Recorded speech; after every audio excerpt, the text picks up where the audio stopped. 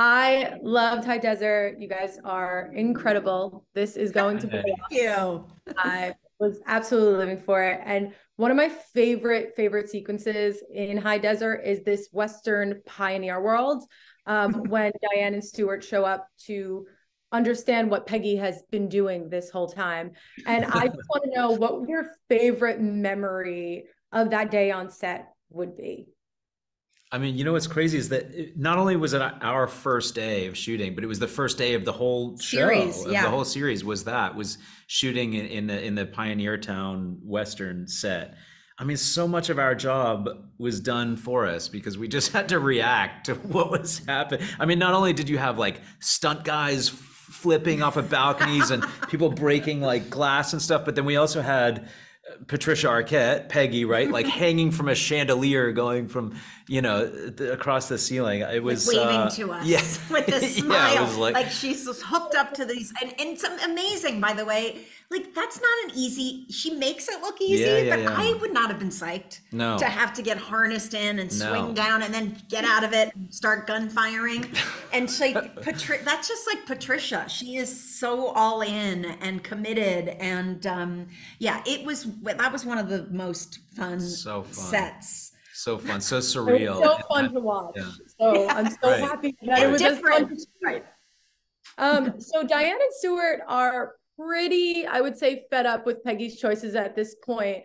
But over the course of the season, were there any moments that you were just hoping that Peggy would prove Diane and Stuart wrong? Oh my gosh, constantly. I feel like we're constantly just tr- just uh, hoping, praying, right? What was like the definition of insanity? You're right. when you keep repeating the same and getting the same, Same results every time. I mean, that is exactly what happened. I think from birth, it's like she's just been putting us through these weird trials, and but we constantly, continually show up, yeah, they show up hoping for a different result. her result. work with a plant, Right. thinking like this is the little welcome Right. gift, and it's gonna go well, and that ends in chaos Yeah. and a shattered windshield. Right? Yeah. Diane's windshield gets shattered. But you know what? Like, what's cool about that is the other side of that is uh, that it shows how much we love her and how much love is in our family. You know, through thick or thin. It's kind of we will always be there, no matter no matter how much I talk about cutting her out. It's yeah. 100%. So for Christine, I have to ask you have this incredible scene with Bernadette and Patricia mm-hmm. in the Pioneer Town. Walk me through that. What what were the nerves like? Were you freaking out? I, I yes, all of it. Because number one, it is me having a, a, a- scene with Patricia Arquette and mm, the iconic Bernadette Peters. Now, thankfully, Bernadette mostly just keeps her eyes closed the, during the scene while I talk to her the whole time, so I didn't have to like make total eye contact.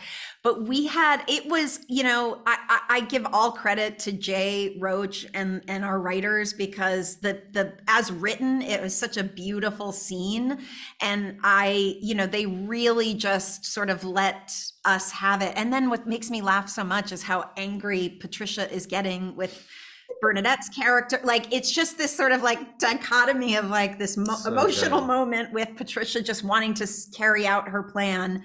Um, you know, but I do like the fact again, it's similar to what you said. It's like Diane does show up to do this. You know, Patricia Mm. kind of lures her in and and lies to her to get her there, but then she just said, "All right, I'll do this. I'll do this for you, and promise me A, B, C, D." And I think it really is. A, there is a sort of, you know, she cracks Diane's shell a little bit there, and I think Diane is suddenly sort of recognizing that she's been bottling up a lot. You know, Mm. grief is a lot, and I don't think she's handled it the same way Peggy's handled it. So I think it it is a really it was a great little opportunity. And yes, I freaked out. I was nervous. I, you know, they were so great. And I, of course, when it was over, I was like, I second guessed all of it. I was like, did I even say the right lines? Mm. Did I?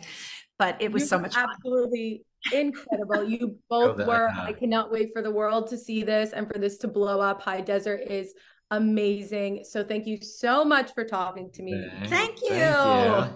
Phenomenal. We love you. Right, Thank you. Have a great one. Bye.